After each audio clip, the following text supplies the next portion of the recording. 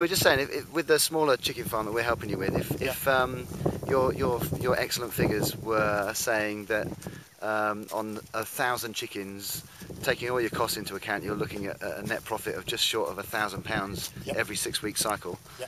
Then on this scale, with five thousand chickens, Yeah.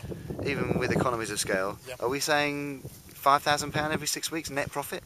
Yeah, it is. It is Wow. possible So- because um, looking at the market for the chickens, Yeah. it's available. Yeah. Okay. So you're not going to saturate the market with with too many chickens suddenly. No, no, because as of now, the beef production in the country has Yeah. gone down. Okay. So many people are going for the chickens.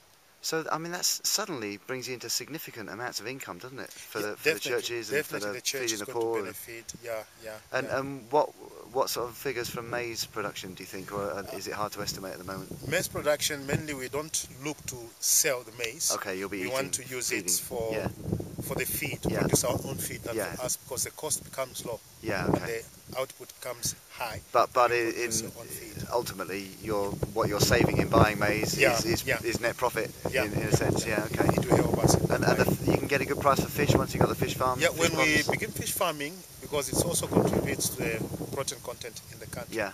And then not only that, the fish breedings have gone so much down in many lakes we have. Okay. So if we can start fish farming, it will also help for us to contribute in terms of Yeah, yeah, the yeah. requirement of the fish around. Wow. And then the price of the fish is still going high because we don't have much fish in the country. So just this one farm alone could generate huge amounts of, of It can, if we're able to have 10,000 yeah, uh, fishes in one pond, right. that will help us. Wow. In eight weeks, we are able to produce something and then give it to the market. And they grow fast like like the chickens do, do they? Yeah, they do. you- They yeah, do. yeah, Even if they may take eight to nine Yeah. to nine months, Okay, and then after that, and, and then yeah, we can harvest and then give it to the community. thank you very much.